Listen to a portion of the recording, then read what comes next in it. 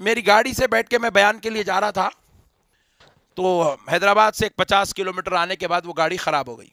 चलते चलते अचानक कड़कड़ कड़कड़ आवाज़ आई, रुक गई। मेरा रोक रहे बड़े भाई, बड़े कामा निकल जाएँगे फुगट में पैसे, पहले जलसे वाले देते नहीं।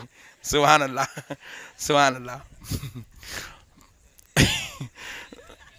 नहीं, आज तो दे रहे, तुम ना टेंशन नको लो सुबहान अल्लाह बोला, रोक भाई, गाड़ी रोक। बोला चलो, पूछे इधर उधर मालूम करे मैकेनिक बोले साहब इधर अंदर जो एक किलोमीटर अंदर। बड़ी मुश्किल से थोड़ा आहिस्ता आहिस्ता आहिस्ता आहिस्ता करके मैकेनिक तक कार लग गए। मैकेनिक साहब बताए भाई ये क्या, की हुआ? प्रॉब्लम ज़रा देखो, क्या है? अब जिसका बंदर हो उसको मालूम, अपने क्या मालूम? नहीं।